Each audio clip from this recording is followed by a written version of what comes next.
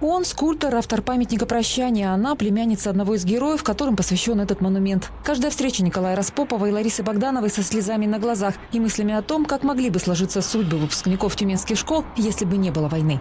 У этих мальчишек продолжения любви, жизни не было. Памятник народный. Его появление ждали и близкие, одноклассники ребят, не вернувшихся с войны. Причем не просто ждали, а вносили свой посильный вклад в появление монумента и словом, и делом.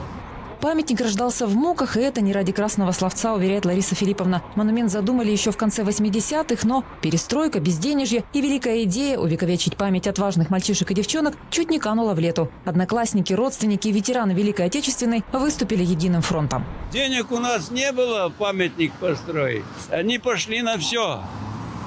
Понимаете, война их, так сказать, научила жить, работать, трудиться и воевать.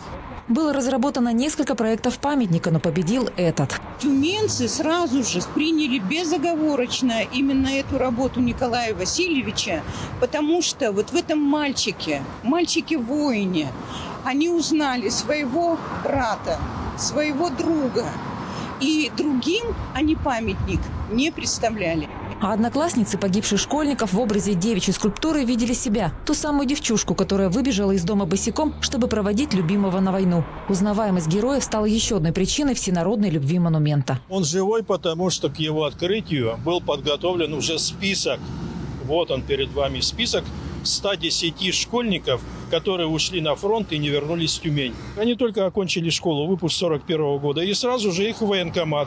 Памятник прощаний по проекту Распопова изготовили в Свердловске. Перед тем, как монумент установить на этом месте, скульптуре пришлось полежать на крыше одного из тюменских домов, чтобы сохранить неспокойное время. А во время монтажа на постаменте от искры вспыхнул материал, которым был укрыт памятник. И, как сказал Николай Васильевич, скульптура прошла очищение огнем. Можно этому придать символизм. Вещь-то необычная.